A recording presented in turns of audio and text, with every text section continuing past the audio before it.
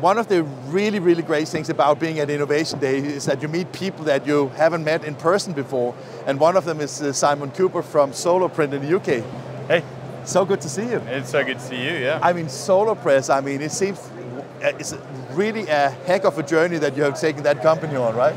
Well, I think the first time we spoke was uh, just at the point that we decided to make the decision to move into inkjet printing in the UK. Yeah. Um, we took the, uh, I think, the first T250 in the world, and um, that was a, a, decision made during COVID, and it enabled us to move out a lot of litho, bring in the inkjet, and really start that journey. And we'd never been to one of these. So, so our, this is the first time for you. This is the first time at, at HID, yeah. And um, really, for us on that discovery project to work out what technology to go for, we had to do a lot of traveling and go and look at the technology, you know, in the uh, development centers and so on. So it would have been great had we have had this opportunity in between times. But I was just about to say that you should have been here at least at the 19th edition. I know, right? Uh, I know. But I can tell you one thing that I find great about this year's edition is that all the things that you do for like for like uh, being one of the most efficient and fastest uh, printers in the UK. Yeah. Uh, this time is way more focused focused on commercial printing rather than yeah. transactional printing. Exactly right. right. So yeah, now maybe it's a good time also to get here. Basically. I think you're right. I think that's the thing that's changed, right? So in 2019, I think there were very very few people that even had the idea that uh, high-speed inkjet was for commercial printers and now actually walking around the, the, the, stalls here, it's very obvious that that's where the direction is, that's where the focus is. As far as I remember, when we spoke the first time, you had like, was it two or three B2 printers, right? Or offset yep. printers, right? So is that digital journey, is that something that you continue? Can you see a future where you don't have offset anymore, or?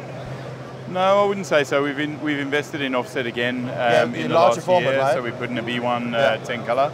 We still have two B2 10 color um, uh, litho presses, and we put a lot of volume through those. But in the UK, we also have three B2 Indigos, the T250, as you know, and uh, some other smaller digital devices. So yeah, I guess probably we have more digital devices in the in the business, but we still see a place for litho at this moment in time. One of the things is uh, that we talk about all the printing devices. What I find ex extremely interesting to see is at what pace you see the development of also the binding side, right? Yeah. Even smarter uh, automation, faster setup time, yeah. excellent quality of, of yeah. the uh, of the end product. Is that also something that you are already investing in, or?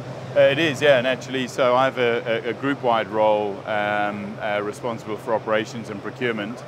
Um, and our German uh, organization are taking the Müller, I don't know if you've seen the Müller that does the uh, the plough folding yeah, into a saddle stitch yeah, book and so on. So we already have one of those going direct from a roll to a finished book.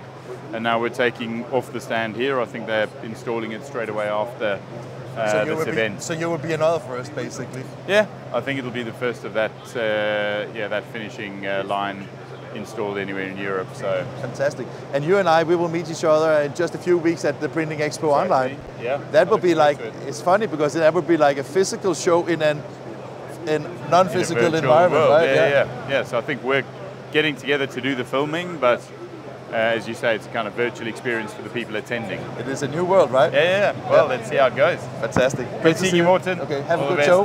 Thank you. Take care. Cheers.